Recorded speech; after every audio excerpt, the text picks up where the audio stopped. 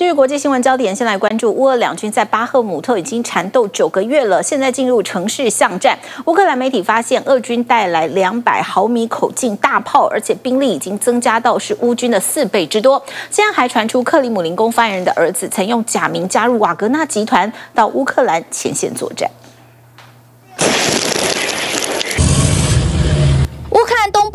赫姆特，俄乌激战将近九个月，实际战况到底如何？从俄罗斯和乌克兰公布的画面来看，差很大。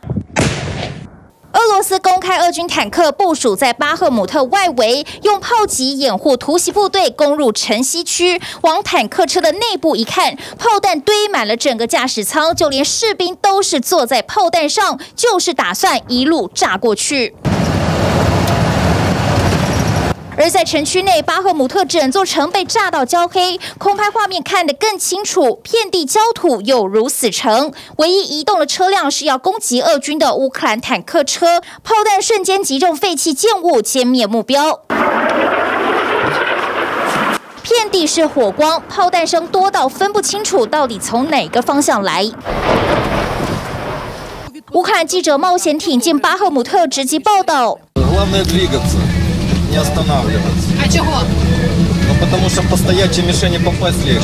乌军带路沿路不敢逗留，也没看到任何居民。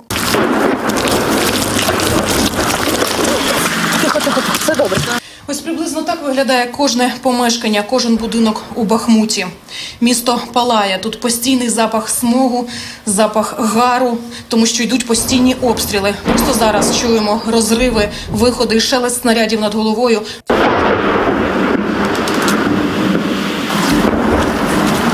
在这里，俄乌从壕沟战打到巷战。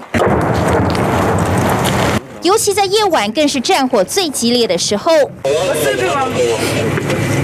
跟着乌军摸黑前进，潜入某栋建筑物的地下室，才发现这里是乌军的地下阵地。Противник, який нас штурмує, він тут нормально підготовлений.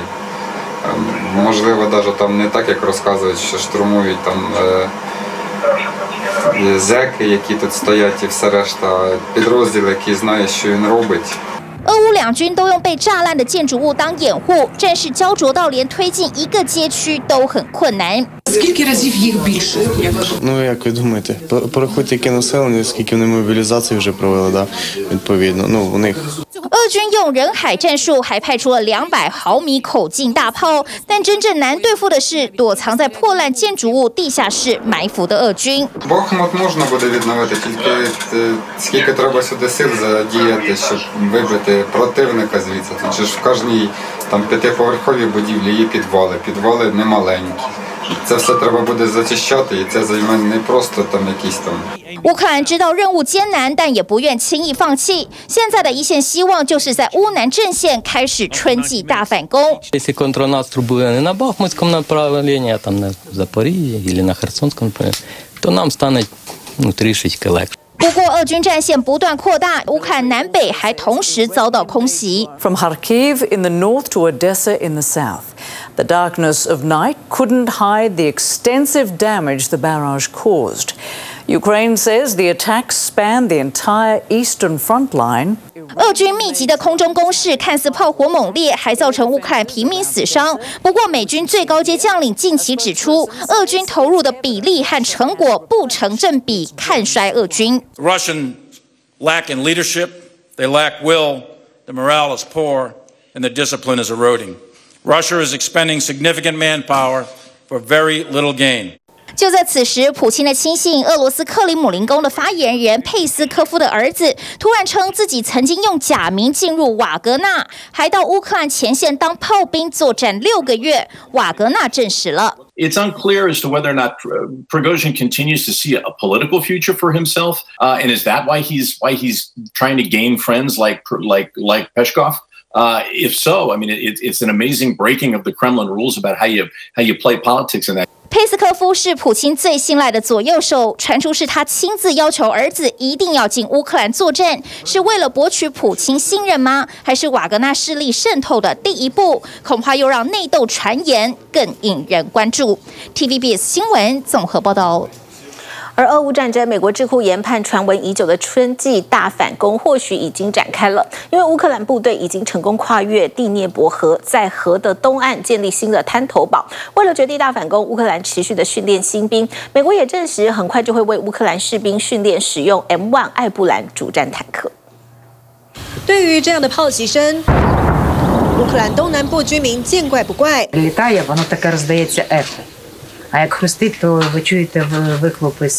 他们早能听声辨位，甚至能感受出炮火声不如过往密集。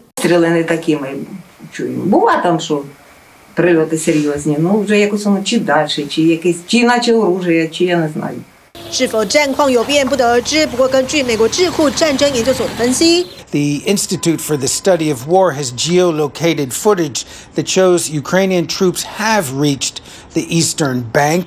Now, Ukrainian officials have neither confirmed nor denied these reports. 表示乌军很可能已跨越第聂伯河，到达东岸的俄控区，建立反攻滩头堡。地图显示，乌军抵达的位置就在对岸的奥列什基镇，甚至有稳定的补给线。不过，对此俄罗斯扶植的傀儡首长否认到底。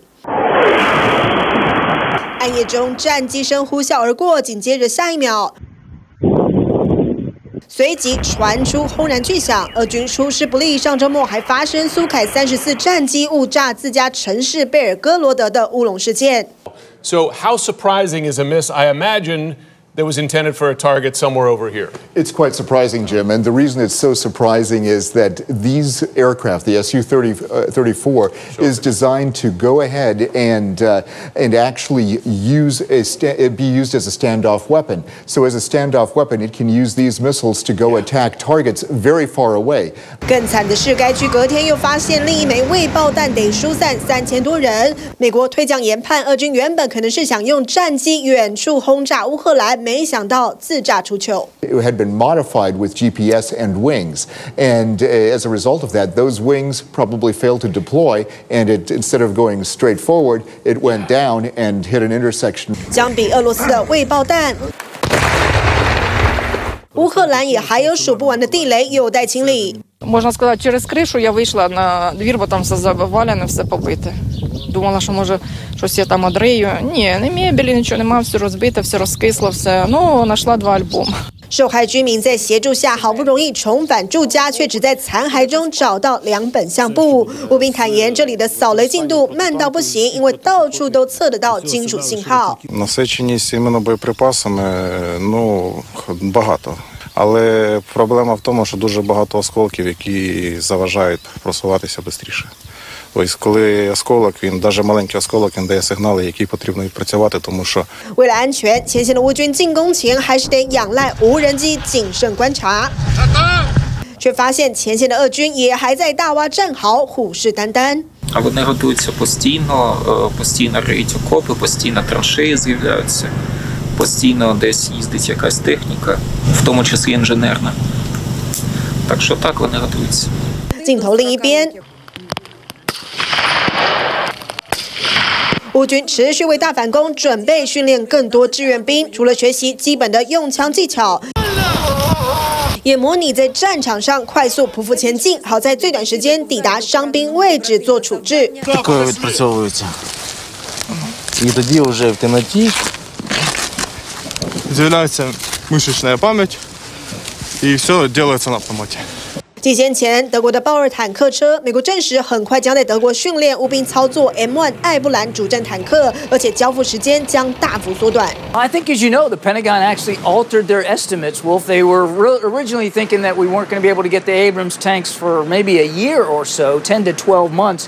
Uh, they've now backed that up several months because they found out a, a, different way to, to use an older version of the Abrams tank. But certainly, you know, by the end of this year，美军退将认为，接下来九十 天将是俄乌战最关键的时候，却也担心乌克兰的空中战力似乎太薄弱。Ukrainian brigades that are being formed for the counteroffensive, uh, but the Ukrainians are still short uh, artillery, artillery ammunition, and most importantly, they don't have the kind of air support that's required to go after That's why they're asking for the F-16s. 为了持续施压俄罗斯，传出 G7 成员国正考虑对俄罗斯实施接近全面性的出口禁令。俄罗斯放话，如果 G7 敢这么做，将终止黑海粮食协议作为报复。第新闻综合报道。想看最完整的新闻内容，记得下载 TVBS 新闻网 APP。